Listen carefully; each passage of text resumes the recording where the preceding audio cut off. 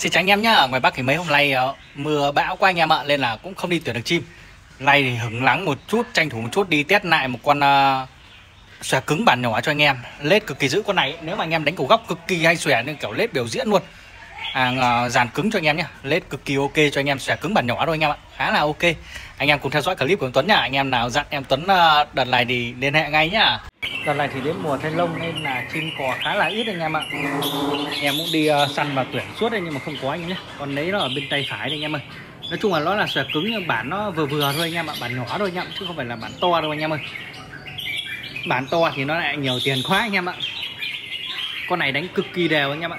Con này đánh cầu góc cũng được màu cầu thẳng cũng ok. Con chim này thì trước em đã xem nó rồi anh em ạ. Đánh rất là đều anh em ơi. Nói chung là nay à, mưa gió vẫn đến test ok anh em ạ. Này trời nó vẫn mưa nhưng mưa bé thôi anh em ạ. Đánh cực kỳ đều anh em ạ. Con này lực cực kỳ khỏe, Nói chung là hàng cực kỳ tiềm năng cho anh em anh em ạ. Đánh nó cực hay xòe xoẹt luôn anh em ạ. Cứ thi thoảng nó lại bùng lên, nó chơi xòe ác lắm anh em ơi. Chim này thì được tầm hai vụ anh em nhé. Còn tầm 80 85% anh em ạ. Hai vụ hơn hai vụ một chút thôi hàng sạch cho anh em. Con này thì hiện tại đang ăn cám hiển tổng hợp anh em ạ. Cầu cánh mỏ cực kỳ đều luôn anh em. Nói chung là nay thì thời tiết nó mấy hôm nay rồi anh em ạ. Miền bắc nó ảnh hưởng của bão đây anh em. Nên là thành ra là muốn đi test chim đi xem chim cũng không có anh em ạ. Này thì hẹn mãi thì mới được anh chủ ở nhà thì để xem anh em ạ. Bình thường thì anh này anh đi làm công ty suốt nên là thành ra mình muốn xem, muốn test nó cũng khó con chim này thì trước em xem giàn nó phải ba bốn lần rồi nha bạn, đánh đều lắm. Chim này đánh nó càng ờ, chim căng nó càng thích anh em ạ. Bùng đít nở to phè luôn. Mặt mũi rất là dữ luôn anh em ạ. Dáng dấp khá là ok cho anh em. Nói chung con chim này thì nó hơi cao tiền một chút anh em nhé.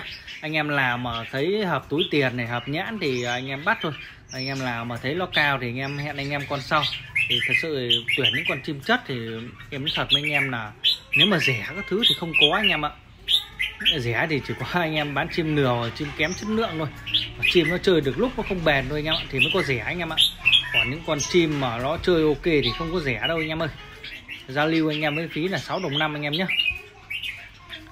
nói chung là giá này thì em tặng thêm cho anh em lồng ghép mộc thôi còn kém thì em không bán đâu anh em ơi rất là giữ chim nói chung là càng chim căng nó càng thích anh em ạ. Thời tiết kém mà đánh xòe xòe dã man luôn anh em ạ. Và anh em chăm cám ngon mồi tươi nữa là cực kỳ ok.